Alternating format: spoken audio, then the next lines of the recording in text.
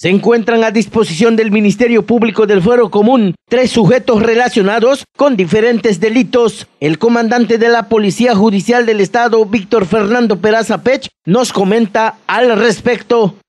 No están detenidas, están presentándose ante el Ministerio Público, dos por violencia intrafamiliar y uno que sí está detenida por robo. Entonces es la que se está investigando ahorita, está sacando toda la información al respecto de esta persona. Con relación al caso del detenido Irving Zárate, quien está acusado del delito de robo de una bicicleta, el comandante aseguró que se investigará si no está involucrado en otros delitos. Lo detuvo seguridad pública, entonces le estamos haciendo las investigaciones con cuál está relacionado y su modus operandi. Los otros no, los seguridad pública lo puso a disposición del Ministerio Público. De los detenidos Francisco Pech Sabido y Eric Castillo, que están involucrados en el delito de violencia intrafamiliar, Peraza Pech explicó que será el Ministerio Público del Fuero Común quien determine su situación legal. Ellos ya, el Ministerio Público determinará su situación jurídica, no nosotros.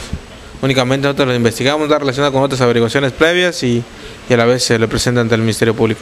Sin embargo, el comandante de la Policía Judicial aseguró que todas las personas detenidas y puestas a disposición del Ministerio Público son investigados para descartar su participación en otros delitos. Nosotros estamos investigando a toda persona que llegue detenida con nosotros o que se traiga para presentarse, le hace una investigación a fondo con relación a sus modos vivendi, sus modos operandi.